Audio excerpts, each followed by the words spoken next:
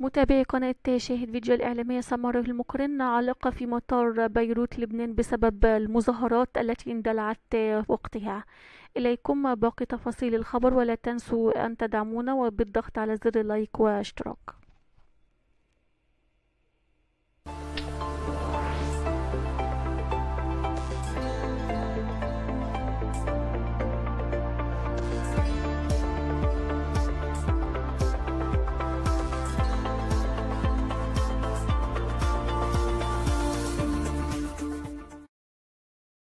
اندلعت المظاهرات في لبنان بعدما فرضت الحكومة ضرائب على مكالمات تطبيق الواتساب ما دفع الآلاف للخروج للشوارع واشتعال النيران واشتعال إطارات السيارات والاشتباك مع أفراد الأمن للمطالبة بتحسين الأوضاع الاقتصادية.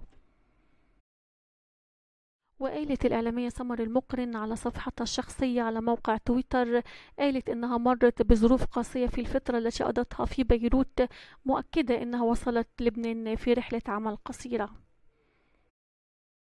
المقرن كانت في لبنان بسبب تصوير حلقة برنامج كلام نواعم قبل أن تندلع المظاهرات في بيروت وبسبب المظاهرات تم توقيف الحلقة. وللأسف كتبت سمر أنا في بيروت في رحلة عمل قصيرة لتصوير كلام نواعم لكن انقطعت بسبل الوصول للمطار. دعوتكم لبنان ينتفض.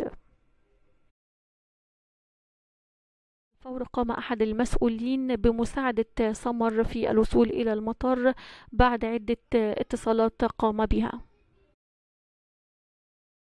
لما وصلت سمر للسعودية قالت الحمد لله إني سعودية الحمد لله على نعمة السعودية. وصلت إلى وطني بحمد الله بعد فترة عصيبة قضيتها في لبنان.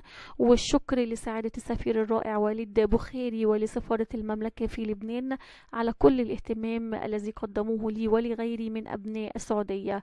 بيض الله وجوهكم الجملة الأبرز المنتشرة دلوقتي على مواقع التواصل الاجتماعي لما سمر وصلت للرياض قالت الحمد لله على نعمة السعودية.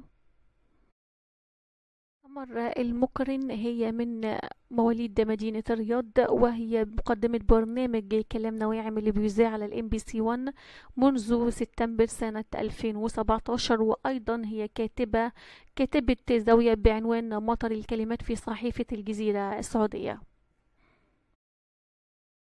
سمر حصلت على ماجستير في العلاقات العامة سنة 2017 من الجامعة الأهلية في مملكة البحرين وبكالوريوس في التربية في عام 2001 من جامعة الملك سعود. مرة حصلت على العديد من الجوائز منها درع المنظمة العربية للإصلاح الجنائي لعام 2007 نظير جهدها الإعلامية في نشر ثقافة حقوق الإنسان. وأيضا حصل على لقب أنجح امرأة عربية في مجال الثقافة والأدب ضمن 60 سيدة عربية ناجحة في مختلف المجالات لعام 2008 وأيضا حصل على درع الشيخة فريحة الأحمد الجابر صباح. نظير جهودها الإعلامية في قضايا المرأة لعام 2010 في الكويت.